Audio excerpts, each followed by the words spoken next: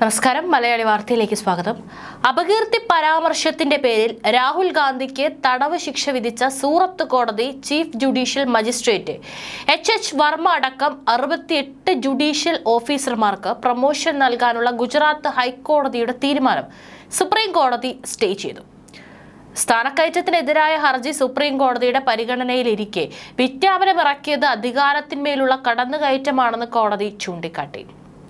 ജസ്റ്റിസുമാരായ M R ഷായും C T രവികുമാറും അടങ്ങിയ രണ്ടംഗ ബെഞ്ചിന്റേതാണ് നടപടി. ഗുജറാത്ത് ഹൈക്കോടതി നൽകിയ ശുപാർശയും കോടതി നിർദ്ദേശം നടപ്പാക്കണമെന്ന് ആവശ്യപ്പെട്ട ഗുജറാത്ത് സർക്കാർ നൽകിയ നോട്ടീസുമാണ് സ്റ്റേ ചെയ്തത്. ഇത് സംബന്ധിച്ച് ഇടക്കാല ഉത്തരവാണ് ഇപ്പോൾ പുറപ്പെടുവിച്ചിരിക്കുന്നത്. ജസ്റ്റിസ് എം ആർ ഷാ ഈ മാസം പതിനാറിന് വിരമിക്കുന്നതിനാൽ ചീഫ് ജസ്റ്റിസ് നിയോഗിക്കുന്ന പുതിയ ബെഞ്ചായിരിക്കും തുടർന്ന് ഹർജി പരിഗണിക്കുക. സ്ഥാനക്കയറ്റ പട്ടികയ്ക്കെതിരെ ഗുജറാത്തിലെ സീനിയർ സിവിൽ ജഡ്ജി കേഡറിൽപ്പെട്ട രവികുമാർ മഹേദ സച്ചിൻ പ്രതാപ് റായ് മേത്ത എന്നിവരാണ് സുപ്രീം കോടതിയെ സമീപിച്ചത്.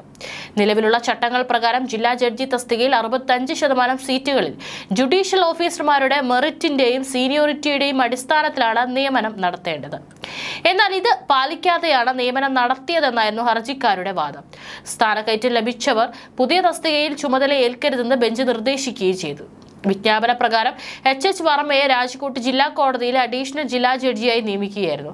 വിധി വന്നതോടെ ഇദ്ദേഹത്തിന്റെ സൂറത്ത് കോടതി ചീഫ് ജുഡീഷ്യൽ മജിസ്ട്രേറ്റായി തുടരേണ്ടി വരും.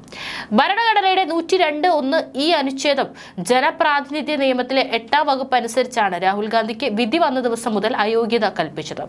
ഇതോടെ തൽക്കാലത്തേക്കെങ്കിലും വയനാടിനെ എം പി ഇല്ലാതായി. പാർലമെന്റ് അകത്തെ അയോഗ്യനായി പ്രഖ്യാപിക്കാൻ ഭരണഘടനയിൽ അഞ്ച് കാരണങ്ങളാണ് രേഖപ്പെടുത്തിയിട്ടുള്ളത്. ലാഭകരമായ മറ്റു പദവികൾ വഹിക്കുക മാനസിക ദൗർബല്യം പാപ്പരാകൽ വിദേശ പൗരത്വം സ്വീകരിക്കൽ എന്നിവയാണ് ആദ്യത്തെ നാല് കാരണങ്ങൾ.